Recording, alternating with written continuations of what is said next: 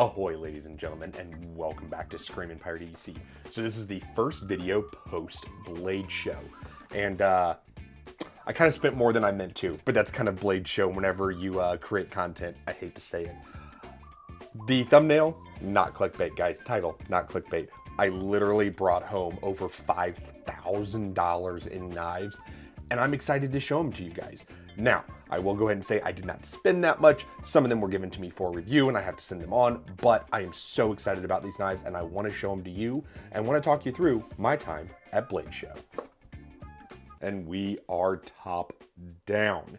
So I'm going to kind of go through day by day on how the show went for me personally, just so you guys can know what it's like going to Blade Show. So showed up Thursday uh, around two or three got my uh, pass to get in for the early bird and then helped a friend set up their booth around 4.30 uh, while walking through the show i passed by jrw said hi uh, they do great stuff over there. And i asked if they had any of the large curators like the displays they did. So later on i made a note to go pick one up. So what i picked up from jrw since they were technically my first stop, guys, I'm going to put that in big air quotes, was the OD Green display curator. Very cool. You can put coins, watches, knives, everything on here. And because it has that rubber bottom, it doesn't move around. Very cool. So, all that happened. Had a dinner Friday night with a bunch of makers and reviewers and designers. Fantastic time. 3 a.m. Yes, that's right. 3 a.m on Friday, got in line to pick up quite a few pieces that I really wanted to get my hands on. Doors open, main room, went in, sent my wife over to Koenig, and I went straight for CKF to pick up the LeSpec collab. Now, this is probably the best CKF I have ever held. It is phenomenal. All the ergonomics are great. I even held a few custom LeSpecs at the show this is on par. This this stacks up, which is insane to say. Now, as far as pricing goes here, guys, I will have the prices pop up on the screen for you. Um, if I know some of these prices are going to be way outlandish for some people, but prices are what you're willing to pay for the knives, and that's how these shows work. If you're not willing to pay it, then you don't buy the knife. Um, so these are going to be the prices. Going to have them up but this is gorgeous in love with this CKF. Now, once I bought that, I headed over to Koenig where my wife was in line and I had to have it. I'm in love. It is the rose gold Koenig Arius. Now, I thought it was rose gold, rose gold because I didn't understand. They had to explain to me a few times because apparently I'm apparently on dense. Um, this rose gold is actually a DLC rose gold. I didn't know DLC could be anything other than black. Apparently, it can be rose gold as well. So it will never fade. Very, very cool. And this thing sounds incredible. Yeah, incredible. Really, really like this configuration. After that, I went over to ProTech after walking around for a bit because I was going to pick up this beauty. This is the TR5 in rose gold. Hey, it now matches my Koenig. Very, very cool. My one complaint here is I wish this firing mechanism was either rose gold or DLC, but that's a nitpick. But it fires and it's gorgeous. I love it. While I was over there, this was around 11ish at that point, my wife pointed out to me that Bob Terzuola was actually at the ProTech booth. Went over, talked to him for a bit, and he was signing knives. Now, when he said when they said signing knives, I thought it was like a Sharpie, right? No. He pulls out a Dremel. I mean, a literal Dremel, guys, sitting off to the side. He picks it up and has a circular head on it, like one of the actual like circle ones that are that's flat on top. And I was like, what the fuck is he doing with that? He somehow managed to get, and this is gonna be really hard to show you guys.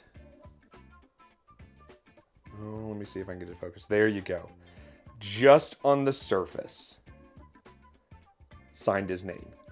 Guys, that's pretty fucking cool. Um, I'm a fan, whether you are or not is up to you. I like it a whole hell of a lot. So, after that, that was kind of my end of day one. Uh, relaxed, You know, got some food and just chilled. It was a long day. I even took a nap that afternoon, guys. I was pooped. Um, also that day, I forgot to mention it was same day. We actually met up and had lunch with my buddy over at Tier One Gear Reviews. So really nice to see him. Congratulations to him on his Amazon knife drop on that uh, cool Raptor Claw knife, guys. It did fantastic. Go check it out. I actually have a couple of videos on that knife. So, day two, I did a ton of filming. If you've been watching the shorts or you've been watching the reels on Instagram, there are a lot. We did a lot of that on day two. I also entered all my lotteries and did a few more pickups.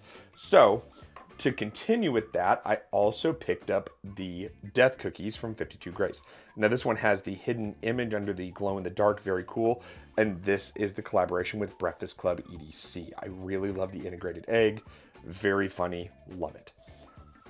So on day two is when I entered in all my lotteries on Saturday. So the one that I won, the one lottery I won and I'm ecstatic about is one of the first, I guess, like offerings at a show in a folder from Ben, uh, from Boatwright Bladeworks guys. So Chase also did my folder, but this is fantastic. This is the Lavaca. Look at that copper backspacer. Yeah, guys. I mean, he's only been doing folders for a few months. I love, I love, I love, I love. Uh, after doing some filming, I was over at Left Concepts, talked to them for a bit. They said, you need to check out the table directly next to us. And I was like, okay, sure, I trust you guys. I know both of you. It was Chapman Lake Knives. So this company is about eight months old and they're still working out some of the kinks and knives. They're still trying to figure out, you know, everything that they're doing on there. They're already, I think, two quote designs in. You can get this with or without studs, but the whole thing is US made and US assembled, except for the bearings. They do a roller bearing but this thing is incredibly smooth.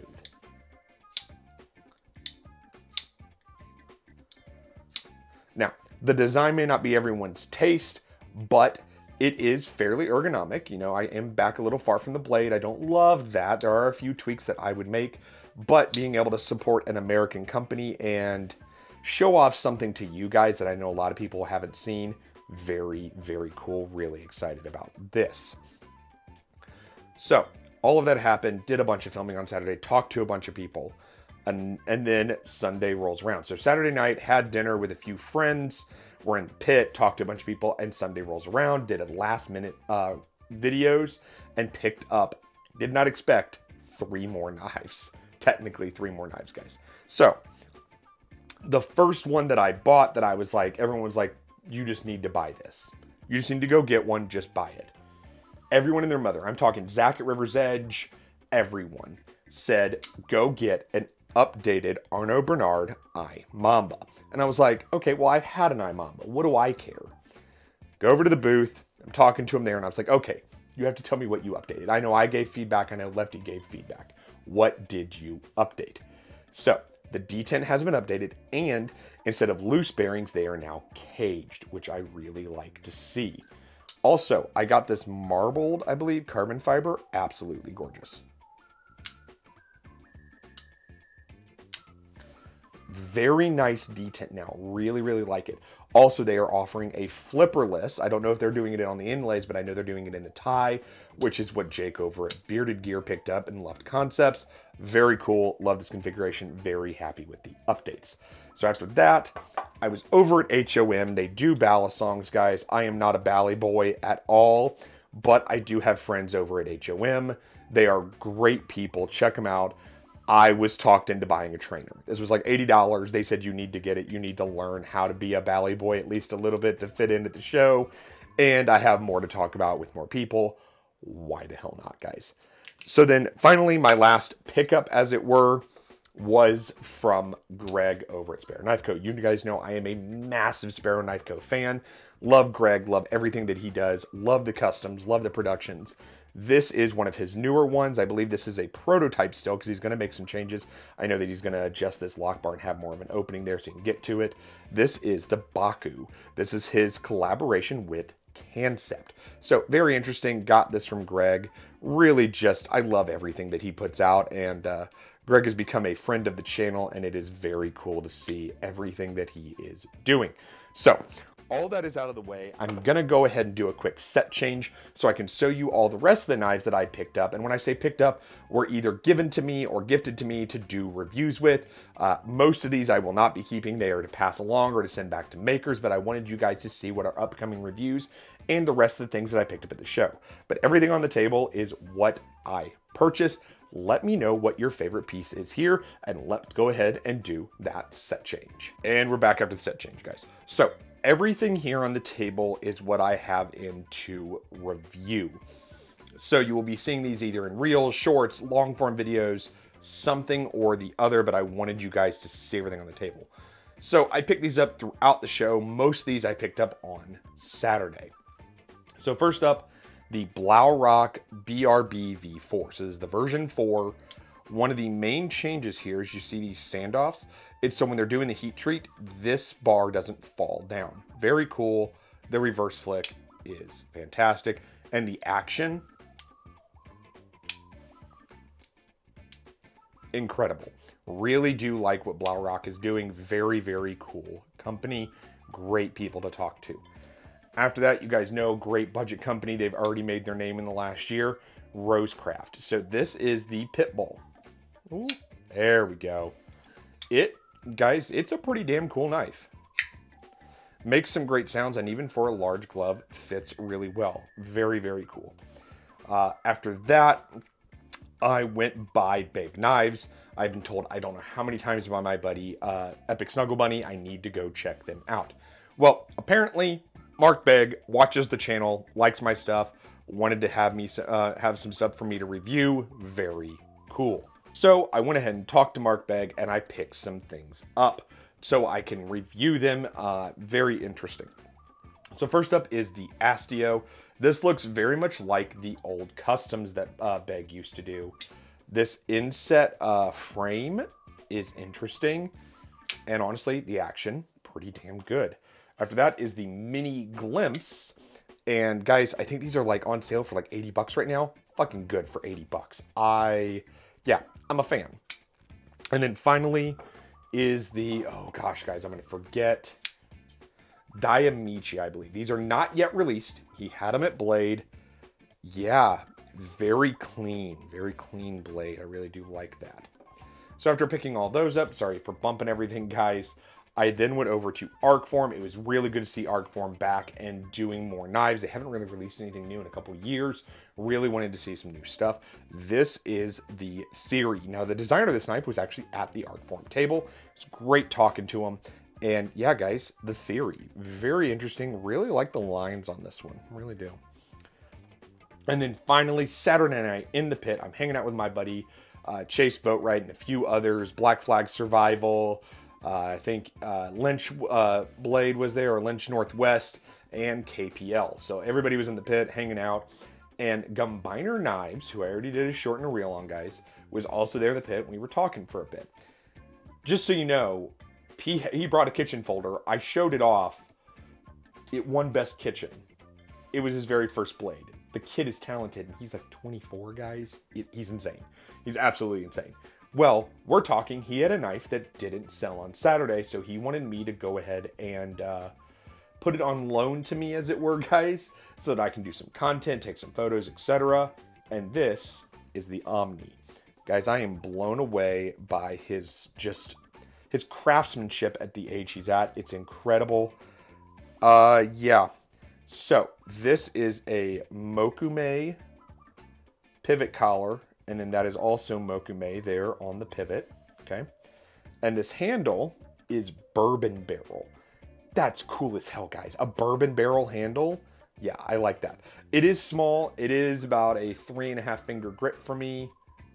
But this is a full custom, guys. Like a full custom piece that he made himself. Nothing else, okay? Very cool. Really like seeing the quote new generation of knife makers, you know, really making a splash. Very interesting. Really do like this one so far. Let me know what here on the table you guys are most excited about for reviews and uh, which one you want me to do first. it's probably going to be the Gumbiner or the Blaurock, just so you guys know. But really excited to have all this in for review. Hopefully you guys are having a good day, and uh, hopefully you enjoyed the video on how Blade Show went, and I can see you next year.